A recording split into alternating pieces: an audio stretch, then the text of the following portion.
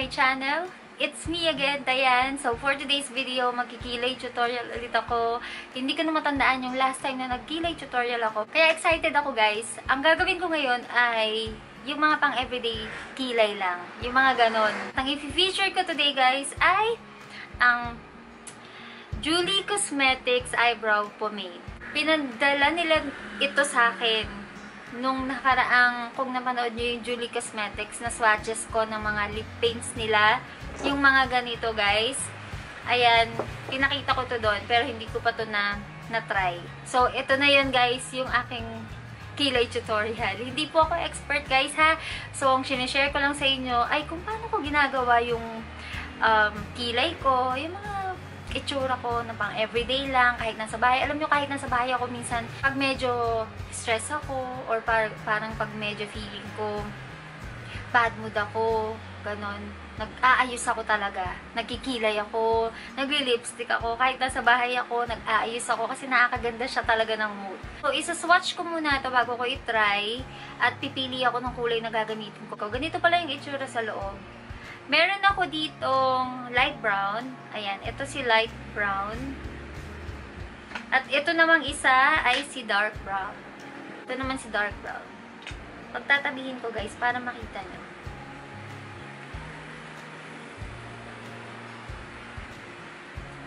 So, ayun yung kulay niya. Parang medyo magkalapit yung kulay nila, no? Pero tignan natin kapag sinwatch ko.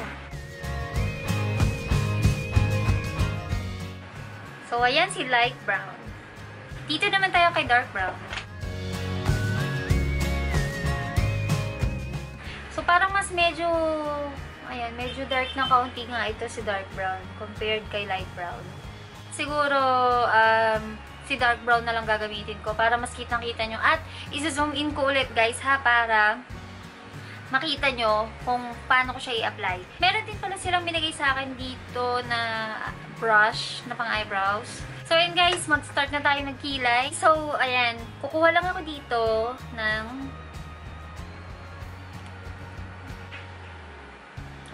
Okay, so ito siya guys.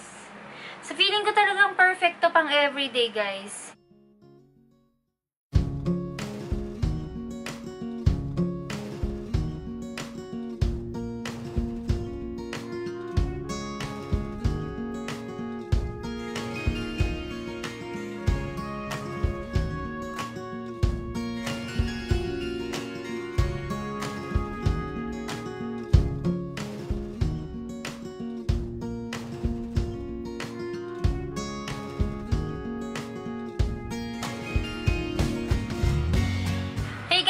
So, ayan yung aking kilay. Nakapansin nyo, lagi ko to sinasabi sa kilay tutorials ko, guys, na hindi ko sinasagad hanggang dito yung kulay, guys. At hindi ako nagdodrawing ng pabilog dyan sa kanto dyan.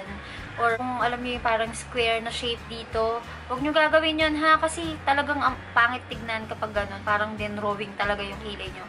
So, hanggang dito lang, guys. Stop kayo hanggang dyan lang. Tapos ito, pwedeng brushin nyo na lang yung makukuha nyong shade dyan ay ilalagay nyo na lang doon. Ganun ako magkilay, guys. So, i-brush ko lang siya para magka-shade.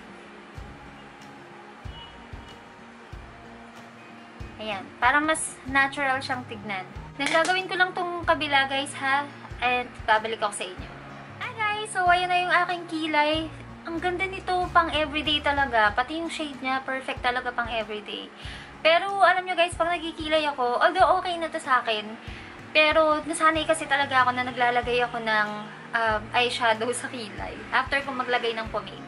And pomade din talaga ang ginagamit ko pang kilay kapag umaalis ako ng bahay. So, ito yung gagamitin ko guys. EB Advance Uncover, uncover number 2. EB Advance Uncover 2. Ayan. 12 um, eyeshadow palettes yan. Ito yung gagamitin ko yung nasa dulo na dark brown. So, iso-zoom in ko ulit guys para makita nyo.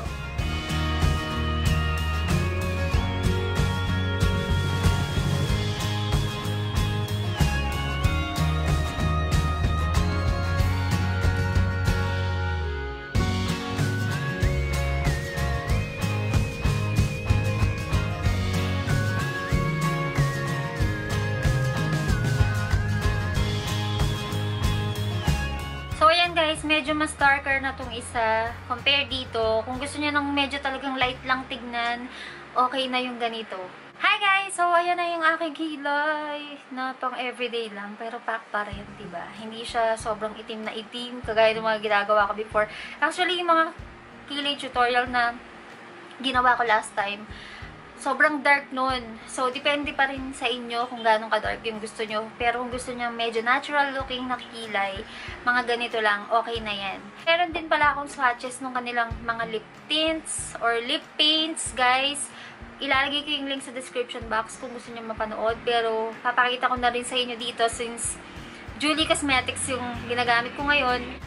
Maglalagay na rin ako nito sa cheeks at sa lips para kompleto na. Ito yung pinaka-favorite ko. Alam nyo, pwede ito sa 60 years old, guys, ha? So, ito rin yung ginagamit ng ano ko, tuwing may meron silang online class.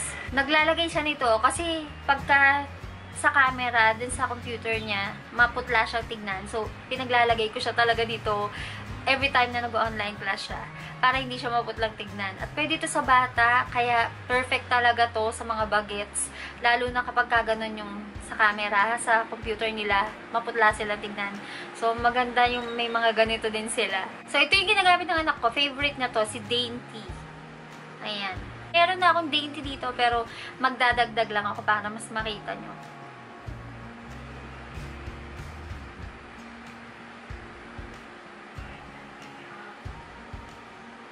Ayan guys. Nakita nyo ba yung pigment? Grabe, no? O, diba? Ang ganda.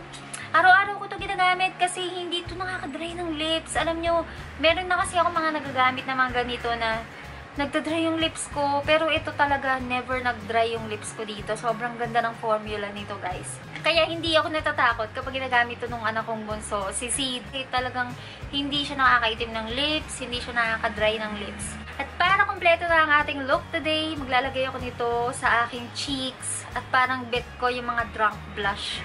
Kaya ito yung gagamitin ko, si Dainty. Maglalagay lang ako sa kamay, guys. Parang feel ko talaga mag-drunk blush ngayon. Ayan. Ayan. Ayan.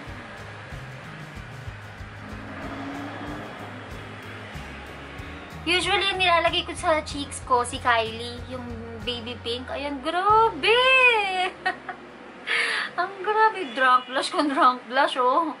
Uy, wow. Ngayon ko lang nagamit to. Si Dainty sa cheeks. Is kanina sobrang pula niya, pero habang tumatagal, nagbe-blend siya ng maayos sa cheeks na mukhang natural na lang siya tingnan. Kung gusto niyo dagdagan, guys, mag-apply lang kayo ulit. So, ako, mag-a-apply ako dahil gusto ko nga drunk blush ngayon. Ayan. So, parang kanina ganyan siya kapula, pero uti-uti siya nag-fade, tapos parang natural na lang siya tignan sa cheeks. So, ayan guys. Ayan ang ating drunk blush. Sabi ko kanina pang everyday look lang, pero tingnan nyo naman, ayan, pack na pack na yung kinalabasan ng ating look today. Ayan. Ang ganda, guys. So, para todo na to, guys. Itodo na natin. Maglalagay na rin ako nitong dainty na shade sa eyelids ko. Itodo na natin ang ating pack na everyday look. Eh, pero hindi ako nag-makeup pag nasa bahay lang ng ganito, ha. Yung kilay lang. At saka, ano, yung lipstick lang ako sa bahay. Pero ang ganda, guys. Ang ganda niya. Wow! I like it.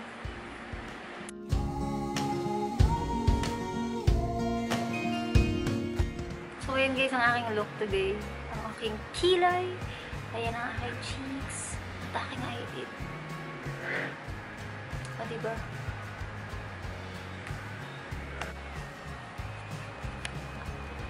So, ayan guys, ang aking look today. Sana nagustuhan nyo.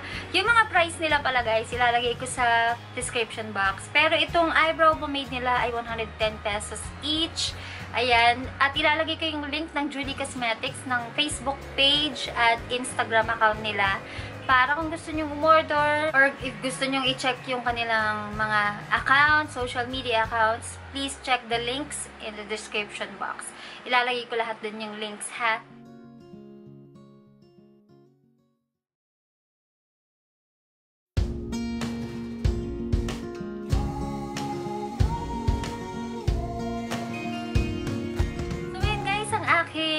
Look today, ang aking everyday kilay at yung look na nagawa ko today using Julie Cosmetics. Sobrang nag-enjoy ako ngayon sa aking makeup session. Very natural looking lang, pero very fresh. Diba? Sobrang, I love it.